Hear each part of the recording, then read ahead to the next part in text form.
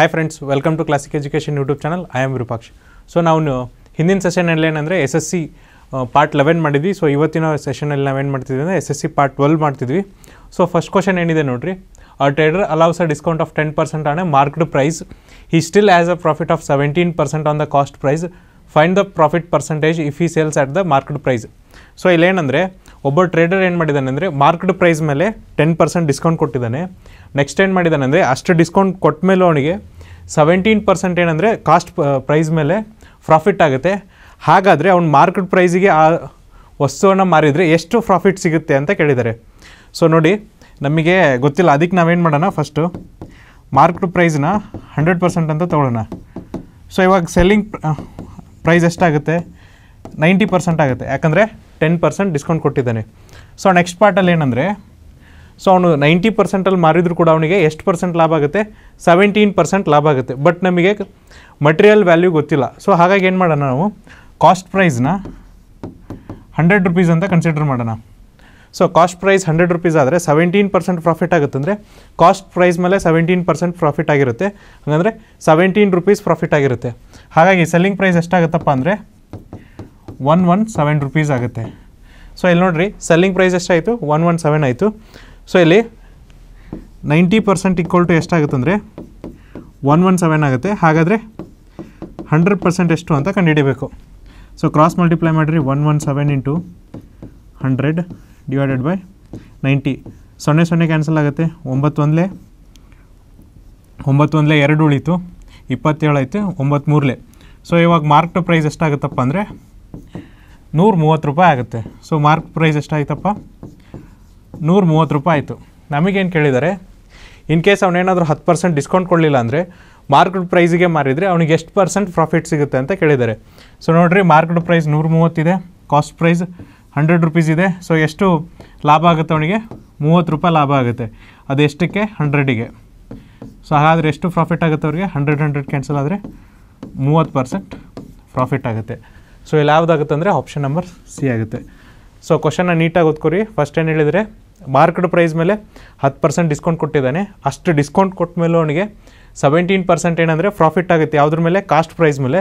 ಹಾಗಾದರೆ ಆ ವಸ್ತುನ ಅವನೇನಾದರೂ ಮಾರ್ಕೆಟ್ ಪ್ರೈಸಿಗೆ ಮಾರಿದರೆ ಎಷ್ಟು ಪ್ರಾಫಿಟ್ ಸಿಗುತ್ತೆ ಅಂತ ಕೇಳಿದ್ದಾರೆ. ಸೊ ಎಷ್ಟು ಪ್ರಾಫಿಟ್ ಸಿಗುತ್ತಪ್ಪ ಅಂದರೆ ಮೂವತ್ತು ಪರ್ಸೆಂಟ್ ಪ್ರಾಫಿಟ್ ಸಿಗುತ್ತೆ. ಸೊ ನೆಕ್ಸ್ಟ್ ಕ್ವಶನ್ ನೋಡ್ರಿ.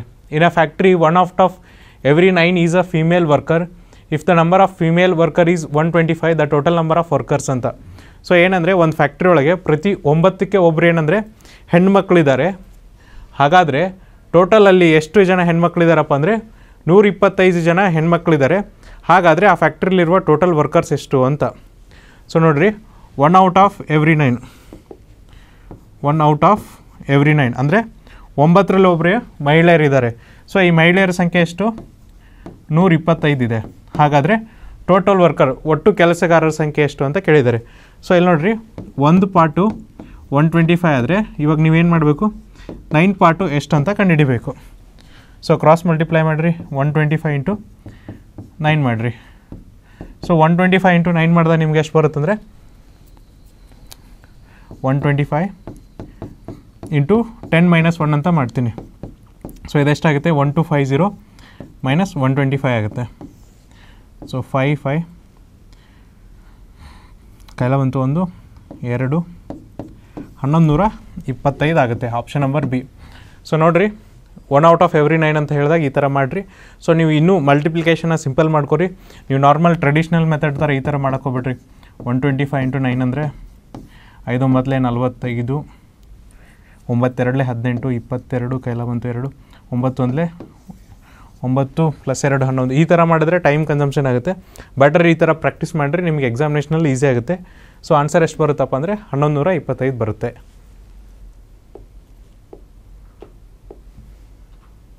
ನೆಕ್ಸ್ಟ್ ಕ್ವಶನ್ ನೋಡ್ರಿ.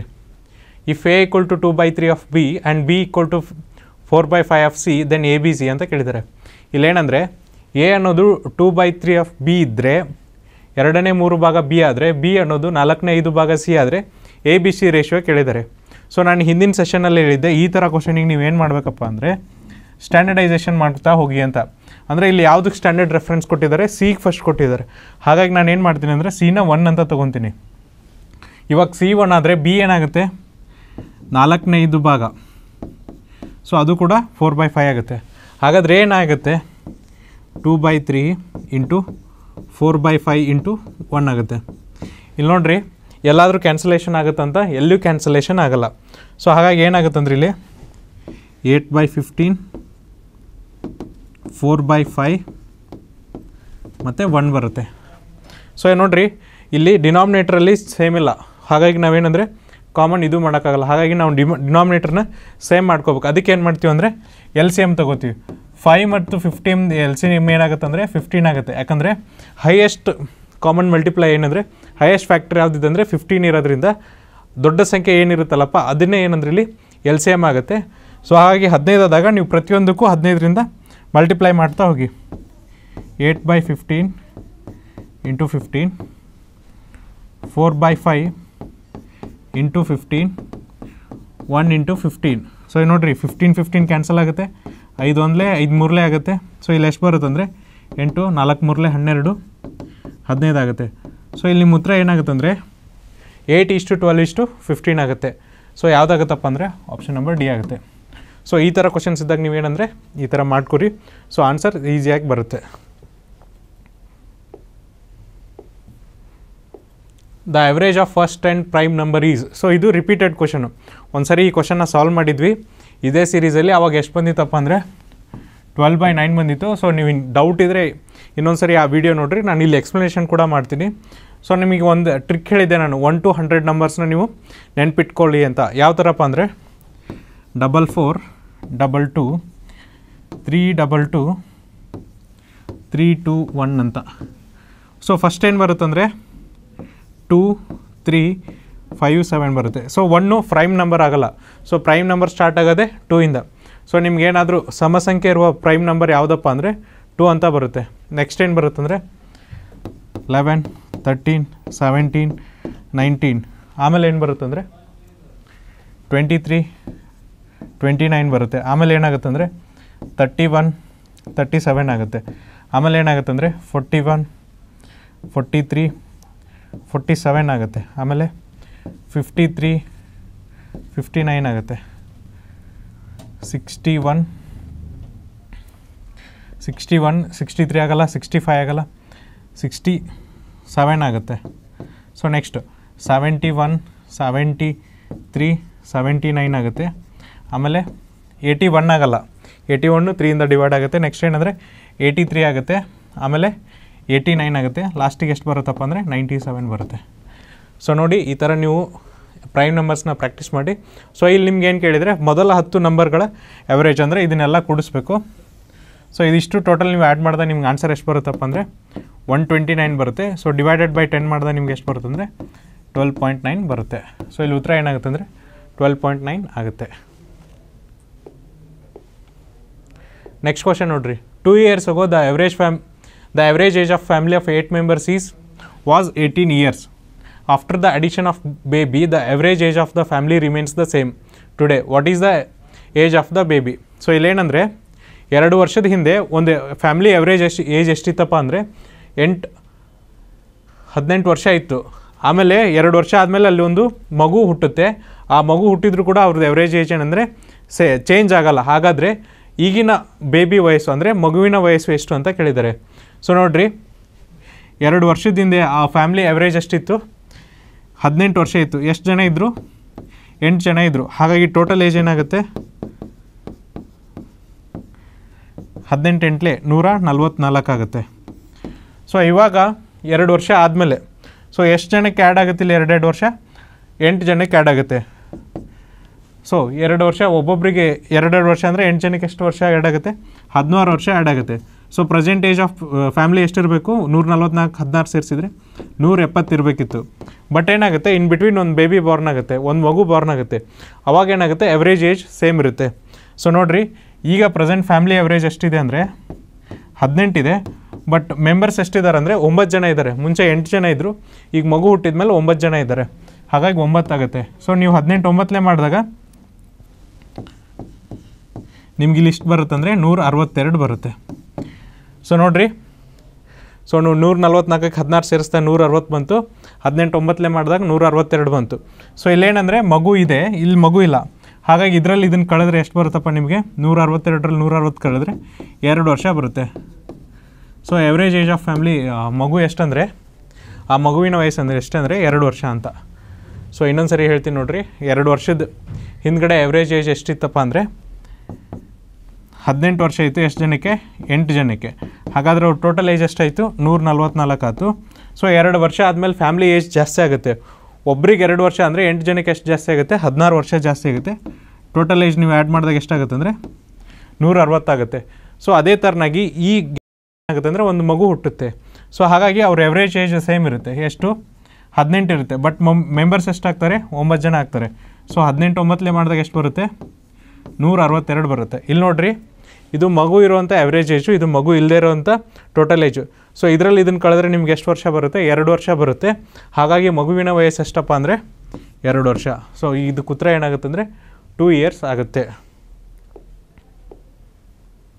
ನೆಕ್ಸ್ಟ್ ಕ್ವಶನ್ ನೋಡಿರಿ. The average of nine integer is found to be eleven but the after the calculation it was detected that by mistake the integer twenty three was copied as thirty two while calculating the average after the due correction made the new average will be so ಇಲ್ಲೇನಂದರೆ, ಹನ್ನೊಂದು ಸಂಖ್ಯೆಗಳ average ಎಷ್ಟಿದೆಯಪ್ಪ ಅಂದರೆ, ಒಂಬತ್ತು ಸಂಖ್ಯೆಗಳ average ಎಷ್ಟಿದೆ ಅಂದರೆ, ಹನ್ನೊಂದಿದೆ but calculation ಮಾಡ್ಬೇಕಾದ್ರೆ ಅವರೊಂದು mistake ಮಾಡಿದ್ದಾರೆ. ಏನು ಮಿಸ್ಟೇಕ್ ಮಾಡಿದ್ದಾರೆ ಅಂದರೆ ಇಪ್ಪತ್ತ್ಮೂರನ ಅವರು ಮೂವತ್ತೆರಡು ಅಂತ ಬರೆದಿದ್ದಾರೆ. ಮೂವತ್ತೆರಡು ಅಂತ ಬರೆದು ಅವ್ರೇನಂದರೆ ಎವರೇಜ್ ಕಂಡಿದ್ದಾರೆ. ಬಟ್ ಈಗ ಕರೆಕ್ಷನ್ ಮಾಡಿದಾಗ ಎವರೇಜ್ ಎಷ್ಟು ಬರುತ್ತೆ ಅಂತ ಕೇಳಿದ್ದಾರೆ. ಸೊ ನೋಡಿರಿ. ಸೊ ಫಸ್ಟ್ ಎಷ್ಟಂತ ಕ್ಯಾಲ್ಕುಲೇಟ್ ಮಾಡಿದರು? ಮೂವತ್ತೆರಡು ಅಂತ ಕ್ಯಾಲ್ಕುಲೇಟ್ ಮಾಡಿದ್ರು. ನೆಕ್ಸ್ಟ್ ಎಷ್ಟಂತ ಇದೆ ಅದು ಆ್ಯಕ್ಚುಲಿ ಇಪ್ಪತ್ತ್ಮೂರು ಅಂತ ಇದೆ. ಸೊ ಎಷ್ಟು ಡಿಫ್ರೆನ್ಸ್ ಆಗುತ್ತೆ ನೋಡ್ರಿ? ಒಂಬತ್ತು ಡಿಫ್ರೆನ್ಸ್ ಆಗುತ್ತೆ. ಸೊ ಎವರೇಜ್ ಎಷ್ಟಿದೆ ಇಲ್ಲಿ? ಹನ್ನೊಂದಿದೆ. ಎಷ್ಟು ಜನಕ್ಕೆ? ಒಂಬತ್ತು ಜನಕ್ಕೆ. ಸೊ ಒಂಬತ್ತು ಮಾರ್ಕ್ಸ್ ಕಮ್ಮಿ ಆಗುತ್ತಂದರೆ, ಒಂಬತ್ತು ಇಂಟೀಜರ್ಸ್ ಕಮ್ಮಿ ಆಗುತ್ತಂದರೆ, ಎಷ್ಟಿದ್ದಾರೆ? ಟೋಟಲು ಒಂಬತ್ತು ಜನ ಇದ್ದಾರೆ. ಒಂಬತ್ತಕ್ಕೆ ಒಂಬತ್ತು ಕ, ಒಂಬತ್ತರಲ್ಲಿ ಒಂಬತ್ತು ಬಾಕ್ಸಿದ್ರೆ ಎಷ್ಟು ಉಳಿಯುತ್ತೆ, ಒಂದು ಉಳಿಯುತ್ತೆ. ಸೊ ಹಾಗಾಗಿ ಹನ್ನೊಂದರಲ್ಲಿ ನೀವು ಒಂದು ಕಳೆದ್ರೆ ಎಷ್ಟು ಉಳಿಯುತ್ತಪ್ಪ? ಹತ್ತು ಉಳಿಯುತ್ತೆ ಎವರೇಜ್ ಎಷ್ಟಾಗುತ್ತೆ ಅಂದರೆ ಹತ್ತಾಗುತ್ತೆ. ಸೊ ಅರ್ಥ ಆಯ್ತಾ? ಸೊ ನೋಡಿರಿ, ಮುಂಚೆ ಮೂವತ್ತೆರಡು ಅಂತ ಕ್ಯಾಲ್ಕುಲೇಟ್ ಮಾಡಿರ್ತಾರೆ ಬಟ್ ಅದು ಇಪ್ಪತ್ತ್ಮೂರು ಇರುತ್ತೆ. ಮೂವತ್ತೆರಡರಲ್ಲಿ ನೀವು ಇಪ್ಪತ್ತ್ಮೂರು ಕಳೆದ್ರೆ ಒಂಬತ್ತು ಬರುತ್ತೆ. ನೆಕ್ಸ್ಟ್ ಏನಂದರೆ ಎವರೇಜ್ ಎಷ್ಟಿದೆ? ಲೆವೆನ್ ಇದೆ. ಸೊ ಈ ಒಂಬತ್ತು ಡಿಜಿಟ್ ಏನಿದೆಲ್ಲ ಒಂಬತ್ತು ಮೆಂಬರ್ಗೂ ಆ್ಯಡ್ ಆಗಿದೆ. ಸೊ ಹಾಗಾಗಿ ನಾವು ಇದನ್ನ ಎವರೇಜ್ ತೆಗೆದ್ರೆ ಎಷ್ಟಾಗುತ್ತೆ? ಒನ್ ಎವರೇಜ್ ಆಗುತ್ತೆ. ಸೊ ಇನಿಷಿಯಲಿ ಲೆವೆನ್ ಎವರೇಜ್ ಇತ್ತು. ಸೊ ನಮ್ಮ ಕರೆಕ್ಟೆಡ್ ಎವರೇಜ್ ಏನಾಗುತ್ತೆ ಅಂದರೆ ಮೈನಸ್ ಒನ್ ಆಗುತ್ತೆ. ಹಾಗಾಗಿ ಅದಕ್ಕೆ ಆ್ಯಡ್ ಮಾಡಿದಾಗ ಎಷ್ಟು ಬರುತ್ತಪ್ಪ ಅಂದರೆ ಉತ್ತರ ಟೆನ್ ಬರುತ್ತೆ. ಆನ್ಸರ್ ಏನಾಗುತ್ತೆ ಅಂದರೆ ಆಪ್ಷನ್ ನಂಬರ್ ಎ ಟೆನ್ ಆಗುತ್ತೆ. ಸೊ ನೆಕ್ಸ್ಟ್ ಕ್ವಶನ್ ನೋಡ್ರಿ. By selling ninety ball pens for rupees one sixty rupees losses person losses twenty percent the number of ball pens which must be sold for ninety six rupees to have a profit of twenty percentage so ಇಲ್ಲೇನಂದರೆ ಒಬ್ಬ ಮನುಷ್ಯ ಏನು ಮಾಡ್ತಾನಂದರೆ ತೊಂಬತ್ತು ball ಪೆನ್ಗಳನ್ನು ನೂರ ಅರವತ್ತು ರೂಪಾಯಿಗೆ ಮಾರ್ತಾನೆ. ಅವಾಗ ಅವನಿಗೆ ಎಷ್ಟು ಲಾಸ್ ಆಗುತ್ತಪ್ಪ ಅಂದರೆ ಇಪ್ಪತ್ತು ಪರ್ಸೆಂಟ್ ಲಾಸ್ ಆಗುತ್ತೆ. ಅದೇ ಥರನಾಗಿ ಎಷ್ಟು ಬಾಲ್ ಪೆನ್ಸ್ನ ಅವನು ತೊಂಬತ್ತಾರು ರೂಪಾಯಿಗೆ ಮಾರಬೇಕು. ಹಾಗಾಗಿ ಅವನಿಗೆ ಎಷ್ಟು ಲಾಭ ಆಗಬೇಕಂದ್ರೆ ಇಪ್ಪತ್ತು ಪರ್ಸೆಂಟ್ ಲಾಭ ಆಗಬೇಕಂತ ಕೇಳಿದ್ದಾರೆ. ಸೊ ಫಸ್ಟ್ ನೋಡಿರಿ ನೀವು. ಅವನ ಹತ್ರ ಎಷ್ಟು ಬಾಲ್ ಪೆನ್ಸ್ ಇತ್ತು? ತೊಂಬತ್ತು ಬಾಲ್ ಪೆನ್ಸ್ ಇತ್ತು. ಎಷ್ಟಕ್ಕೆ ಮಾರಿದವನು ನೂರ ಅರವತ್ತು ರೂಪಾಯಿಗೆ ಮಾರ್ದ. ಸೊ ಒಂದು ಬಾಲ್ ಪೆನ್ನಿಗೆ ಎಷ್ಟಾಗುತ್ತೆ? ನೂರ ಅರವತ್ತು ಡಿವೈಡೆಡ್ ಬೈ ತೊಂಬತ್ತು. ಸೊ ಸಿಕ್ಸ್ಟೀನ್ ಬೈ ನೈನ್ ಆಯಿತು. ಸೊ ಇದೇನಂದರೆ ಏಯ್ಟಿ ಪರ್ಸೆಂಟಿಗೆ ಆಯಿತು. ಇವಾಗ eighty percent of the cost price ಎಷ್ಟಾಯ್ತು ಅಂದರೆ ಸಿಕ್ಸ್ಟೀನ್ ಬೈ ನೈನ್ ಆಯಿತು. ನಮಗೆ ಕ್ವಶನಲ್ಲಿ ಏನು ಕೇಳಿದ್ದಾರೆ ಅವನಿಗೆ ಟ್ವೆಂಟಿ ಪರ್ಸೆಂಟ್ ಪ್ರಾಫಿಟ್ ಆಗಬೇಕು. ಹಾಗಾಗಿ ಏನಾಗುತ್ತೆ ಅಂದಿದ್ದು ಒನ್ ಟ್ವೆಂಟಿ ಪರ್ಸೆಂಟಿಗೆ ಕಂಡುಹಿಡಿಬೇಕು. So one per one twenty ಪರ್ಸೆಂಟಿಗೆ one ball pen ಎಷ್ಟು ಕಾಸ್ಟ್ ಆಗುತ್ತೆ ಅಂತ. ಕ್ರಾಸ್ ಮಲ್ಟಿಪ್ಲೈ ಮಾಡಿರಿ. Sixteen divided by nine into one twenty divided by eighty ಸೊನ್ನೆ ಸೊನ್ನೆ ಕ್ಯಾನ್ಸಲ್ ಆಗುತ್ತೆ. ನಾಲ್ಕು ಮೂರಲೆ, ನಾಲ್ಕು ಎರಡಲೆ. ಎರಡು ಒಂದಲೆ, ಎರಡು ಎಂಟ್ಲೆ, ಮೂರು ಒಂದಲೆ, ಮೂರು ಮೂರಲೆ. ಸೊ ಇಲ್ಲಿ ಕಾಸ್ಟ್ ಪ್ರೈಸ್ ಎಷ್ಟಾಗುತ್ತೆ ಅಂದರೆ ಏಯ್ಟ್ ಬೈ ತ್ರೀ ಆಗುತ್ತೆ. ಒನ್ ಟ್ವೆಂಟಿ ಪರ್ಸೆಂಟ್ ಲಾಭದಲ್ಲಿ ಮಾರಿದಾಗ. ಸೊ ನಮಗೇನು ಕೇಳಿದ್ದಾರೆ? ತೊಂಬತ್ತಾರು ರೂಪಾಯಿಗೆ ಎಷ್ಟು ಬಾಲ್ ಪೆನ್ಸ್ನ ಮಾರಬೇಕು ಅಂತ ಕೇಳಿದ್ದಾರೆ. ಸೊ ನೋಡ್ರಿ ಇಲ್ಲಿ. ಒಂದು ಬಾಲ್ ಪೆನ್ ಪ್ರೈಸ್ ಎಷ್ಟಿದೆ ಅಂದರೆ ಏಯ್ಟ್ ಬೈ ತ್ರೀ ಇದೆ ಟ್ವೆಂಟಿ ಪರ್ಸೆಂಟ್ ಮಾರಿದಾಗ. ಹಾಗಾದರೆ ತೊಂಬತ್ತಾರು ರುಪೀಸ್ಗೆ ಎಷ್ಟಾಗುತ್ತೆ ಅಂತ. ಸೊ ನೀವೇನು ಮಾಡಿರಿ? ತೊಂಬತ್ತಾರು ರುಪೀಸ್ನ divided by eight by three ಮಾಡಿರಿ. ಸೊ ಇಲ್ಲೇನಾಗುತ್ತೆ ಅಂದರೆ ತೊಂಬತ್ತಾರು ಡಿವೈಡೆಡ್ ಬೈ ಎಂಟು ಇಂಟು ಮೂರಾಗುತ್ತೆ ಸೊ ಡಿವಿಷನ್ ಆಫ್ ಡಿವಿಷನ್ ಏನಾಗುತ್ತೆ? ಮಲ್ಟಿಪ್ಲಿಕೇಶನ್ ಆಗುತ್ತೆ. ಎಂಟು ಒಂದಲೇ ಎಂಟು ಒಂದಲೇ. ಸೊ ಇಲ್ಲೇನಂದರೆ ಒಂದು ಉಳೀತು ಹದಿನಾರು ಆಯಿತು. ಎಂಟೆರಡಲೆ ಹದಿನಾರು. ಸೊ ಎಷ್ಟಾಗುತ್ತಪ್ಪ ಅಂದರೆ ಮೂವತ್ತಾರು ಆಗುತ್ತೆ. ಸೊ ಅವನು ತೊಂಬತ್ತಾರು ರೂಪಾಯಿಗೆ ಮೂವತ್ತಾರು ಬಾಲ್ ಪೆನ್ಗಳನ್ನ ಸೇಲ್ ಮಾಡಬೇಕು. ಅವನಿಗೆ ಎಷ್ಟು ಪರ್ಸೆಂಟ್ ಪ್ರಾಫಿಟ್ ಆಗುತ್ತೆ ಅಂದರೆ ಟ್ವೆಂಟಿ ಪರ್ಸೆಂಟೇಜ್ ಪ್ರಾಫಿಟ್ ಆಗುತ್ತೆ. ಸೊ ನೆಕ್ಸ್ಟ್ ಕ್ವಶನ್ ನೋಡಿರಿ. A dealer buys a wrist watch for rupees two twenty five and spends fifteen rupees on its repairs if he sells the same for three hundred rupees is profit percentage so ಏನು ಮಾಡ್ತಾನಂದರೆ ಒಬ್ಬ dealer ಒಂದು ಕೈ ಗಡಿಯಾರನ ತೊಗೋತಾನೆ. ಎಷ್ಟು ರೂಪಾಯಿಗೆ ಅಂದರೆ ಎರಡುನೂರ ಇಪ್ಪತ್ತೈದು ರೂಪಾಯಿಗೆ. ಅದ್ರ ಮೇಲೆ ಅವ್ನು ಏನಂದರೆ? ಹದಿನೈದು ರೂಪಾಯಿ ಏನಂದರೆ ರಿಪೇರಿಗೆ ಖರ್ಚು ಮಾಡ್ತಾನೆ. ಅದನ್ನು ಅವ್ನು ಏನು ಮಾಡ್ತಾನೆ ಅಂದರೆ ಮುನ್ನೂರು ರೂಪಾಯಿಗೆ ಸೇಲ್ ಮಾಡ್ತಾನೆ. ಹಾಗಾದರೆ ಅವನಿಗೆ ಪ್ರಾಫಿಟ್ ಎಷ್ಟಾಯಿತು ಅಂತ ಕೇಳಿದ್ದಾರೆ ಫಸ್ಟ್ ನೋಡಿರಿ ಡೀಲರ್ ಕಾಸ್ಟ್ ಪ್ರೈಸ್ ಎಷ್ಟಾಗುತ್ತೆ ಅಂತ ಕಂಡಿಡ್ರಿ. ಡೀಲರ್ ಫಸ್ಟ್ ಎಷ್ಟು ರೂಪಾಯಿಗೆ ತೊಗೋತಾನೆ ಅವನು? ಎರಡು ನೂರ ಇಪ್ಪತ್ತೈದು ರೂಪಾಯಿಗೆ ತೊಗೋತಾನೆ. ಪ್ಲಸ್ ಏನು ಮಾಡ್ತಾನೆ? ಹದಿನೈದು ರೂಪಾಯಿ ರಿಪೇರಿಗೆ ಸ್ಪೆಂಡ್ ಮಾಡ್ತಾನೆ. ಸೊ ಕಾಸ್ಟ್ ಪ್ರೈಸ್ ಎಷ್ಟಾಗುತ್ತೆ ಅಂದ್ರೆ ಇಲ್ಲಿ? ಎರಡು ನೂರ ನಲ್ವತ್ತು ರೂಪಾಯಿ ಆಯಿತು. ಸೊ ಅವ್ನು ಸೆಲ್ಲಿಂಗ್ ಪ್ರೈಸ್ ಎಷ್ಟಕ್ಕೆ ಮಾರ್ತಾನೆ ಅಂದರೆ ಅದನ್ನು? ಮುನ್ನೂರು ರೂಪಾಯಿಗೆ ಮಾರ್ತಾನೆ. ಸೊ ಪ್ರಾಫಿಟ್ ಏನಾಗುತ್ತೆ ಅಂದರೆ ಕಾಸ್ selling price minus cost price ಆಗುತ್ತೆ. ಎಷ್ಟು ರೂಪಾಯಿ ಲಾಭ ಆಗುತ್ತೆ ಅವನಿಗೆ? ಅರವತ್ತು ರೂಪಾಯಿ ಲಾಭ ಆಗುತ್ತೆ. ಸೊ ಈಗೇನು ಕೇಳಿದ್ದಾರೆ ನಮಗೆ? ಪ್ರಾಫಿಟ್ ಪರ್ಸೆಂಟೇಜ್ ಕೇಳಿದ್ದಾರೆ. ಪ್ರಾಫಿಟ್ ಪರ್ಸಂಟೇಜ್ ಫಾರ್ಮುಲಾ ಏನಂದರೆ profit divided by cost price into hundred so ಅರವತ್ತು ರೂಪಾಯಿ ಲಾಭ ಆಗುತ್ತೆ ಅವನಿಗೆ. ಎಷ್ಟಕ್ಕೆ ತೊಗೊಂಡಿರ್ತಾನೆ ಅವನು? ಎರಡು ನೂರ ನಲ್ವತ್ತು ರೂಪಾಯಿಗೆ ತೊಗೊಂಡಿರ್ತಾನೆ. ಸೊ ಇಂಟು ಹಂಡ್ರೆಡ್ ಮಾಡಿರಿ. ಈ ಸೊನ್ನೆ ಈ ಸೊನ್ನೆ ಕ್ಯಾನ್ಸಲ್ ಆಗುತ್ತೆ. ಆರು ಒಂದಲೇ ಆರು ನಾಲ್ಕಲೆ so hundred divided by four ಮಾರ್ದ ನಿಮ್ಗೆ ಎಷ್ಟು ಬರುತ್ತೆ ಅಂದರೆ? ಟ್ವೆಂಟಿ ಫೈವ್ ಪರ್ಸೆಂಟ್ ಬರುತ್ತೆ. ಸೊ ಅವನಿಗೆ ಎಷ್ಟು ರುಪೀಸ್ ಎಷ್ಟು ಪರ್ಸೆಂಟ್ ಲಾಭ ಆಯ್ತು ಅಂದರೆ? ಇಪ್ಪತ್ತೈದು ಪರ್ಸೆಂಟ್ ಲಾಭ ಆಗುತ್ತೆ. ಆಪ್ಷನ್ ನಂಬರ್ ಸಿ ಆಗುತ್ತೆ. ನೆಕ್ಸ್ಟ್ ಕ್ವಶನ್ ನೋಡ್ರಿ. Raman's salary is increased by five percent this year if his present salary is rupees eighteen hundred sixteen ರು six rupees the last year salary was so Raman ಅನ್ನೋರ ಸ್ಯಾಲ್ರಿನ ಐದು percent increase ಮಾಡಿದ್ದಾರೆ. So ಐದು percent increase ಮಾಡಿದಾಗ ಅವ್ರ present salary ಎಷ್ಟಿದೆಯಪ್ಪ ಅಂದರೆ ಹದಿನೆಂಟುನೂರ ಆರು ರೂಪಾಯಿ ಇದೆ. ಹಾಗಾದರೆ ಅವ್ರ ಹಿಂದಿನ ವರ್ಷದ ಸ್ಯಾಲ್ರಿ ಎಷ್ಟು ಅಂತ ಇತ್ತು. ಸೊ ನೋಡಿರಿ, ನಾವು ಸ್ಯಾಲ್ರಿನ ಹಂಡ್ರೆಡ್ ಪರ್ಸೆಂಟ್ ಅಂತ ಕನ್ಸಿಡರ್ ಮಾಡೋಣ. ಸೊ ಈಗ ಅವ್ರಿಗೆ ಏನು ಮಾಡಿದ್ದಾರೆ? ಐದು ಪರ್ಸೆಂಟ್ ಇನ್ಕ್ರೀಸ್ ಮಾಡಿದ್ದಾರೆ. ಎಷ್ಟಾಯಿತು? ನೂರ ಐದು ಪರ್ಸೆಂಟ್ ಆಯಿತು. ಸೊ ನೂರ ಐದು ಪರ್ಸೆಂಟ್ ಎಷ್ಟಿದೆ ಅಂದರೆ ಹದಿನೆಂಟು ನೂರ ಆರು ರೂಪಾಯಿ ಇದೆ. ಸೊ ನಮಗೇನು ಕೇಳಿದ್ದಾರೆ? ಹಿಂದಿನ ವರ್ಷದ ಸ್ಯಾಲ್ರಿ ಎಷ್ಟಿತ್ತು ಅಂತ. ಅಂದರೆ ನೂರು ಪರ್ಸೆಂಟ್ ಎಷ್ಟಿತ್ತು ಅಂತ ಕೇಳಿದ್ದಾರೆ. ಜಸ್ಟ್ ಕ್ರಾಸ್ ಮಲ್ಟಿಪ್ಲೈ ಮಾಡಿರಿ. ಈ ಹದಿನೆಂಟುನೂರ ಆರು into hundred divided by one zero five so ಐದು ಇಪ್ಪತ್ತೊಂದಲೇ, ಐದು ಇಪ್ಪತ್ತಲೆ, ಮೂರು ಏಳಲೆ ಮೂರಾರಲೆ ಹದಿನೆಂಟು, ಸೊನ್ನೆ ಸೊನ್ನೆ, ಮೂರು ಏಳಲೆ ಆರು. ಸೊ ಇದು ನೋಡಿರಿ ಏಳೊಂದಲೆ, ಏಳೆಂಟಲೆ ಐವತ್ತಾರು, ನಾಲ್ಕು ಉಳೀತು ಏಳಾರಲೆ ನಲ್ವತ್ತೆರಡು. ಏಳಾರಲೆ ನಲ್ವತ್ತೆರಡು. ಸೊ ಎಷ್ಟಾಯ್ತು ಅಂದರೆ ಎಂಬತ್ತಾರು ಇಂಟು ಇಪ್ಪತ್ತು ಉಳಿತು. ಸೊ ನೀವು ಎಂಬತ್ತಾರು ಇಂಟು ಇಪ್ಪತ್ತು ಮಾಡಿದ ನಿಮ್ಗೆ ಎಷ್ಟು ಬರುತ್ತಂದರೆ ಆರೆರಡಲೆ ಹನ್ನೆರಡು ಕೈಲ ಬಂತು ಒಂದು, ಎಂಟೆರಡಲೆ ಹದಿನಾರು ಕೈಲ ಬಂತು ಒಂದು. ಸೊ ಹದಿನೇಳು ಆಗುತ್ತೆ. ಸೊ ಎಷ್ಟು ಅವನಿಗೆ ಸ್ಯಾಲ್ರಿ ಇತ್ತಪ್ಪ ಇನಿಷಿಯಲ್ ಅಂದರೆ ಹದಿನೇಳು ನೂರ ಇಪ್ಪತ್ತು ರೂಪಾಯಿ ಸ್ಯಾಲ್ರಿ ಇತ್ತು. ಸೊ ಅವನಿಗೆ ಐದು ಪರ್ಸೆಂಟ್ ಜಾಸ್ತಿ ಮಾಡಿದ್ರು. ಅವಾಗ ಎಷ್ಟು ಬಂತಂದರೆ ಐದು ಪರ್ಸೆಂಟ್ ಇನ್ಕ್ರೀಸ್ ಮಾಡಿದಾಗ ಅವನಿಗೆ ಎಷ್ಟು ಬಂತಂದರೆ ಹದಿನೆಂಟು ನೂರ ಆರು ರೂಪಾಯಿ ಆಯಿತು. ಸೊ ಈ ಥರನೂ ಮಾಡ್ಬೋದು. ಇಲ್ಲ, ನೀವು ಸಿಂಪಲ್ ಏನಂದರೆ ಕ್ರಾಸ್ ವೆರಿಫಿಕೇಷನ್ ಆಪ್ಷನ್ ಥ್ರೂನು ಮಾಡ್ಬೋದು. ಜಸ್ಟ್ ನೋಡಿರಿ. ಫಸ್ಟ್ ಆಪ್ಷನ್ನಿಂದ ಹೋಗೋಣ. ಇದೆಷ್ಟಿದೆ? ಹಂಡ್ರೆಡ್ ಪರ್ಸೆಂಟ್ ಇದೆ. ಸೊ ನಮಗೆ ಎಷ್ಟು ಕೊಡಿ ಕಂಡುಹಿಡಿಬೇಕು. ನೂರ ಐದು ಪರ್ಸೆಂಟ್ ಕಂಡುಹಿಡಿಬೇಕು.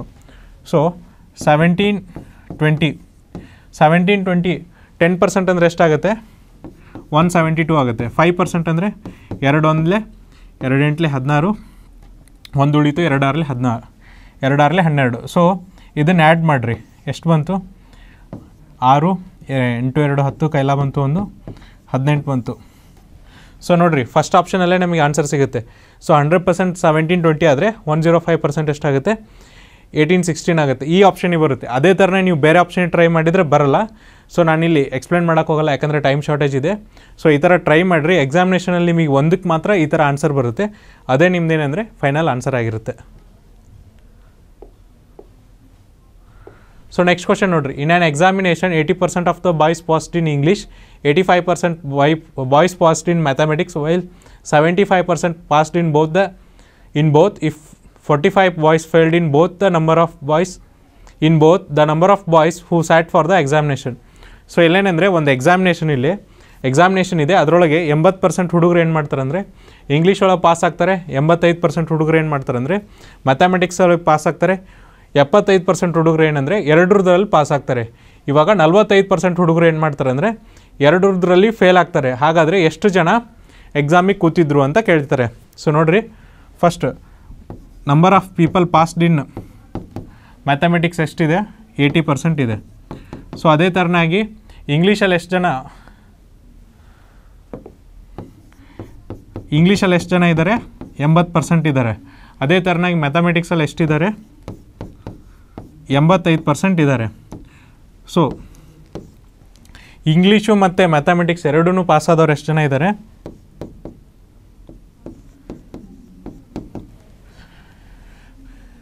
ಸೆವೆಂಟಿ ಫೈವ್ ಇದ್ದಾರೆ. ಸೊ ನಮಗೇನಂದ್ರೆ ಈಗ ನಲ್ವತ್ತೈದು ಜನ ಫೇಲ್ ಆಗಿದ್ದಾರೆ. ಹಾಗಾದರೆ ಎಷ್ಟು ಜನ ಎಕ್ಸಾಮಿಗೆ ಕೂತಿದ್ರು ಅಂತ? ಸೊ ನಾವೇನು ಮಾಡೋಣ? ಇಂಗ್ಲೀಷ್ ಯೂನಿಯನ್ ಎಂ ಅಂತ ಮಾಡೋಣ. ಅವಾಗ ಏನಾಗುತ್ತಂದರೆ N union E plus N N of M minus English intersection M ಆಗುತ್ತೆ. ಸೊ ಈ ಫಾರ್ಮುಲಾ ಹಾಕಿದರೆ, ನಿಮಗೆ ನೋಡಿರಿ, ಈ ಇಂಗ್ಲೀಷಿಗೆ ಎಷ್ಟು ಜನ ಕೂತಿದ್ದಾರೆ? ಏಯ್ಟಿ ಪರ್ಸೆಂಟ್ ಜನ ಕೂತಿದ್ದಾರೆ. ಮ್ಯಾಥಮೆಟಿಕ್ಸಿಗೆ ಏಯ್ಟಿ ಫೈವ್ ಪರ್ಸೆಂಟ್ ಜನ ಕೂತಿದ್ದಾರೆ. ಎಕ್ಸಾಮ್ ಎಷ್ಟು ಜನ ಪಾಸ್ ಆಗಿದ್ದಾರೆ? ಎಪ್ಪತ್ತೈದು ಪಾಸ್ ಆಗಿದ್ದಾರೆ. ಎಂಬತ್ತೈದರಲ್ಲಿ ಎಪ್ಪತ್ತೈದು ಕಳೆದ್ರೆ ಎಷ್ಟು ಉಳಿಯುತ್ತೆ? ಹತ್ತು ಉಳಿಯುತ್ತೆ. ಸೊ ಹತ್ತಂದರೆ ಎಂಬತ್ತಕ್ಕೆ ಹತ್ತು ಕೂಡಿಸಿದ್ರೆ ತೊಂಬತ್ತಾಗುತ್ತೆ ಟೋಟಲ್ ಪಾಸ್ ಆದಂಥ ಹುಡುಗರು ಎಷ್ಟಪ್ಪ ಅಂದರೆ ಟೋಟಲ್ ಪಾಸ್ ಆದಂಥ ಹುಡುಗರು ಎಷ್ಟಂದರೆ ತೊಂಬತ್ತು ಪರ್ಸೆಂಟು ಸೊ ಎಷ್ಟು ಪರ್ಸೆಂಟ್ ಜನ ಫೇಲ್ ಆಗುತ್ತೆ? ಫೇಲ್ ಆಗ್ತಾರೆ. ಟೆನ್ ಪರ್ಸೆಂಟ್ ಜನ ಫೇಲ್ ಆಗ್ತಾರೆ. ಸೊ ಇಲ್ಲಿ ಟೆನ್ ಪರ್ಸೆಂಟ್ ಜನ ಎಷ್ಟಿದ್ದಾರಪ್ಪ ಅಂದರೆ ನಲ್ವತ್ತೈದು ಇದ್ದಾರೆ. ಸೊ ನಮಗೇನು ಕೇಳಿದ್ದಾರೆ ಟೋಟಲ್ ಹಂಡ್ರೆಡ್ ಪರ್ಸೆಂಟ್ ಎಷ್ಟಿದ್ದಾರೆ ಅಂತ. ಸೊ ಹಂಡ್ರೆಡ್ ಪರ್ಸೆಂಟ್ ಮಾಡಿದಾಗ ನಿಮ್ಗೆ ಎಷ್ಟು ಬರುತ್ತೆ ಅಂದರೆ ಫೋರ್ ಫಿಫ್ಟಿ ಬರುತ್ತೆ. ಸೊ ಎಷ್ಟು ಜನ ಎಕ್ಸಾಮಿಗೆ ಕೂತಿದ್ರು ಅಂದರೆ ನಾಲ್ಕುನೂರ ಐವತ್ತು ಜನ ಎಕ್ಸಾಮಿನೇಷನ್ಗೆ ಕೂತಿದ್ರು. ನೆಕ್ಸ್ಟ್ ಕ್ವಶನ್ ನೋಡ್ರಿ.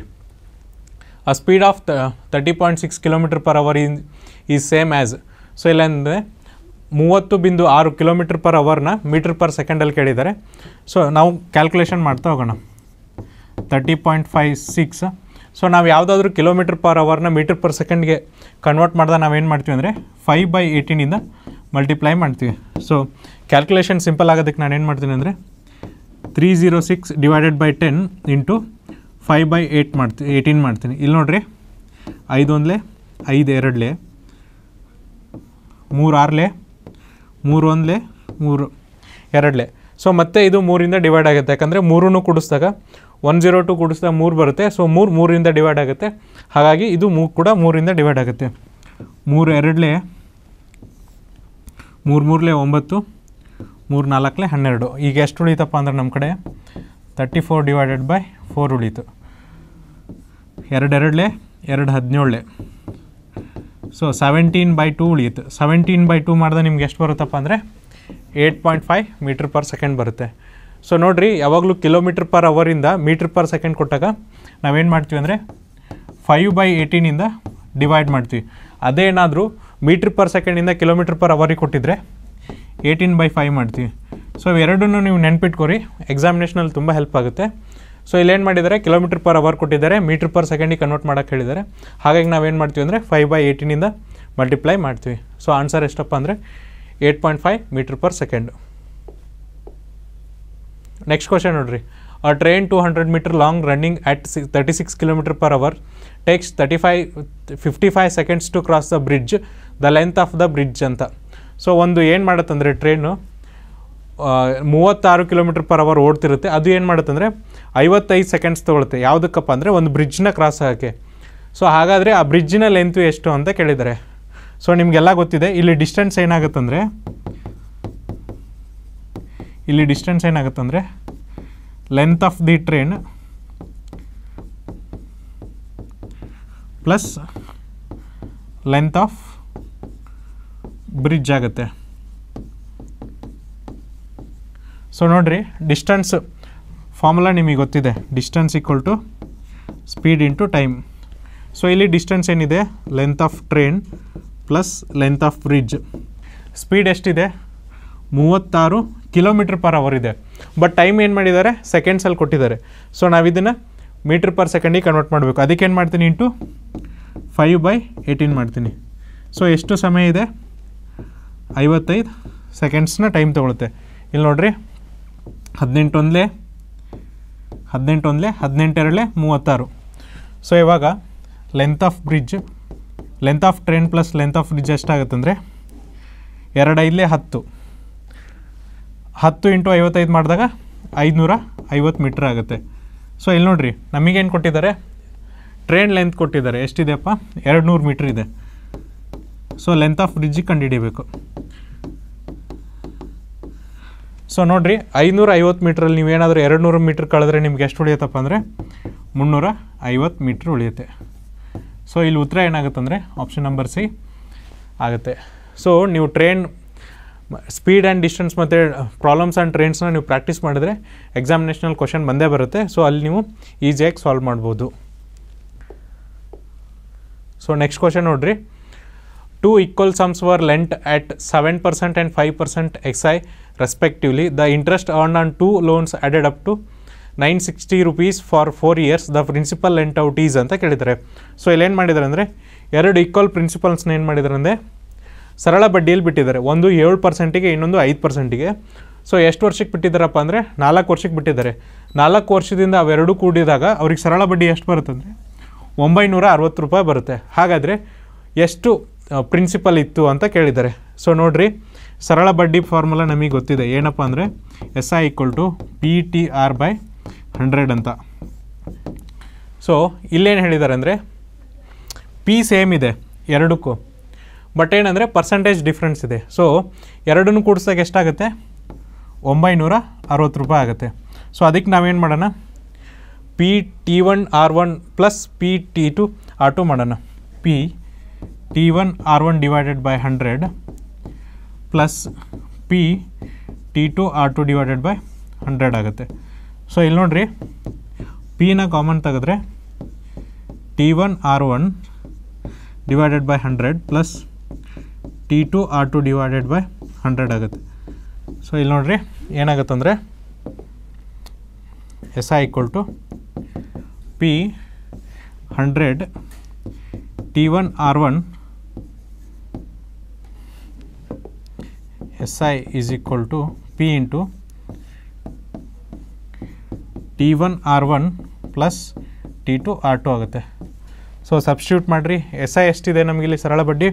ಒಂಬೈನೂರ ಅರವತ್ತು ರೂಪಾಯಿ ಇದೆ. ಪ್ರಿನ್ಸಿಪಲ್ ಕಂಡುಹಿಡಿಬೇಕು. ಟಿ ಒನ್ ಎಷ್ಟಿದೆ? ಟಿ ಸೇಮ್ ಇದೆ. ಎರಡಕ್ಕೆ ಎಷ್ಟಿದೆ? ನಾಲ್ಕು ವರ್ಷ ಇದೆ. ರೇಟ್ ಎಷ್ಟಿದೆ? ಫಸ್ಟ್ರಲ್ಲಿ ಏಳು ಪರ್ಸೆಂಟ್ ಇದೆ. ನೆಕ್ಸ್ಟ್ರಲ್ಲಿ ರೇಟ್ ಎಷ್ಟಿದೆ ಅಂದರೆ ಐದು ಪರ್ಸೆಂಟ್ ಇದೆ. ಟಿ ಟು ಕೂಡ ನಾಲ್ಕು ವರ್ಷ ಇದೆ. ಸರಳ ಬಡ್ಡಿ ಇಲ್ಲಿ ಐದು ಪರ್ಸೆಂಟ್ ಇದೆ. ಸೊ ಏಳು ನಾಲ್ಕಲೆ ಇಪ್ಪತ್ತೆಂಟು, ನಾಲ್ಕೈದಲೇ ಇಪ್ಪತ್ತು. ಇಪ್ಪತ್ತು ಪ್ಲಸ್ ಇಪ್ಪತ್ತೆಂಟು ಕೊಡಿಸ್ತಾ ನಿಮ್ಗೆ ಎಷ್ಟು ಬರುತ್ತಂದರೆ ಸೊ ಈಕ್ವೇಷನ್ ಏನಾಗುತ್ತೆ ಅಂದರೆ hundred P twenty eight plus twenty so ಇಪ್ಪತ್ತು ಪ್ಲಸ್ ಇಪ್ಪತ್ತೆಂಟು ಕೂಡಿಸಿದಾಗ ಎಷ್ಟಾಗುತ್ತೆ? ನಲ್ವತ್ತೆಂಟು ಆಗುತ್ತೆ divided by hundred is equal to ಒಂಬೈನೂರ ಅರವತ್ತು ರೂಪಾಯಿ ಆಗುತ್ತೆ. ಸೊ ನಿಮ್ಗೇನು ಬೇಕು? ಪಿ ಬೇಕು ಕ್ರಾಸ್ ಮಲ್ಟಿಪ್ಲೈ ಮಾಡಿರಿ. ಪಿ ಈಸ್ ಈಕ್ವಲ್ ಟು ಏನಾಗುತ್ತೆ ಅಂದರೆ nine sixty into hundred divided by forty eight ಆಗುತ್ತೆ. ಸೊ ಇಲ್ಲಿ ನೋಡಿರಿ, ಹನ್ನೆರಡು ನಾಲ್ಕಲೆ ನಲ್ವತ್ತೆಂಟು, ಹನ್ನೆರಡು ಎಂಟ್ಲೆ ತೊಂಬತ್ತಾರು, ನಾಲ್ಕೊಂದ್ಲೆ ನಾಲ್ಕು ಇಪ್ಪತ್ತಲೆ ಸೊ ಇಷ್ಟು ಎಷ್ಟಾಗುತ್ತೆ ಅಂದರೆ ಎರಡು ಸಾವಿರ ರೂಪಾಯಿ ಆಗುತ್ತೆ. ಸೊ ಇಲ್ಲಿ ಉತ್ತರ ಏನಾಗುತ್ತೆ ಅಂದರೆ ಟೂ ತೌಸಂಡ್ ರುಪೀಸ್ ಆಗುತ್ತೆ. ಸೊ ಈ ಥರನಾದರೂ ಮಾಡ್ಬೋದು. ನೀವು ಇನ್ನೂ ಸಿಂಪಲಾಗಿ ಮಾಡ್ತೀರಂದರೆ ಸರಳ ಬಡ್ಡಿಲಿ ನೋಡಿರಿ, ಯಾವಾಗಲೂ ವರ್ಷ ಕೊಟ್ಟಾಗ ನೀವು ಪರ್ಸಂಟೇಜ್ನ ಆ್ಯಡ್ ಮಾಡ್ಕೋಬೋದು. ಸೊ ಅವಾಗ ಏನಾಗುತ್ತೆ ಅಂದರೆ S I is equal to P T ಸರಳ ಬಡ್ಡಿ ಎರಡು, ಇದು ಸರಳ ಬಡ್ಡಿ ಎರಡು ಮಾಡಿರಿ. ಏಳು ಪ್ಲಸ್ ಐದು ಮಾಡಿದಾಗ ಹನ್ನೆರಡು ಆಗುತ್ತೆ. ಡಿವೈಡೆಡ್ ಬೈ ಹಂಡ್ರೆಡ್ ಸೊ ಇಲ್ಲೇನಾಗುತ್ತೆ ನೈನ್ ಸಿಕ್ಸ್ಟಿ ಪಿ ಗೊತ್ತಿಲ್ಲ ಟಿ ಗೊತ್ತಿದೆ. ನಾಲ್ಕು ವರ್ಷ into twelve divided by hundred so P is equal to ಒಂಬೈನೂರ ಅರವತ್ತು ಇಂಟು ನೂರು ಡಿವೈಡೆಡ್ ಬೈ ಹನ್ನೆರಡು ಇಂಟು ನಾಲ್ಕು. ಸೊ ಹನ್ನೆರಡು ಒಂದಲೇ ಹನ್ನೆರಡು ಎಂಟ್ಲೆ, ನಾಲ್ಕು ಒಂದಲೇ ನಾಲ್ಕು ಇಪ್ಪತ್ತಲೆ ಸೊ ಇಲ್ಲಿ ಕೂಡ ನಿಮ್ಗೆ ಎಷ್ಟು ಬರುತ್ತೆ ಅಂದರೆ ಉತ್ತರ ಎರಡು ಸಾವಿರ ರೂಪಾಯಿ ಬರುತ್ತೆ. ಸೊ ಇದು ಶಾರ್ಟ್ಕಟ್ ಮೆಥಡು ಸೊ ನಿಮ್ಗೆ ಯಾವ ಮೆಥಡ್ ಬೇಕಲ್ಲ ಅದನ್ನು ಫಾಲೋ ಮಾಡಿರಿ. ಸೊ ಎಕ್ಸ್ ಆದಷ್ಟು ಎಕ್ಸಾಮಿನೇಷನಲ್ಲಿ ಶಾರ್ಟ್ಕಟ್ಟನ್ನೇ ಮಾಡಿರಿ. ಸೊ ಶಾರ್ಟ್ಕಟ್ ಟ್ರಿಕ್ಸ್ ನಿಮ್ಗೆ ಯಾವಾಗ ನೆನ್ಪುಳಿಯುತ್ತೆ ಅಂದರೆ ನೀವು ಹೆಚ್ಚು ಹೆಚ್ಚು ಕ್ವಶನ್ಸ್ನ ಪ್ರಾಕ್ಟೀಸ್ ಮಾಡಿದಾಗ ನಿಮ್ಮ ಶಾರ್ಟ್ ಟ್ರಿಕ್ಸ್ ನೆನ್ಪುಳಿಯುತ್ತೆ. ಸೊ ನಾನು ನೆಕ್ಸ್ಟ್ ಸೆಷನಲ್ಲಿ ಇನ್ನೊಂದಿಷ್ಟು ವೀಡಿಯೋಸ್ ಒಂದಿಗೆ ಬರ್ತೀನಿ. ಸೊ ಅಲ್ಲಿವರೆಗೂ ನೋಡ್ತಾ ಇರಿ Classic Education YouTube channel thank you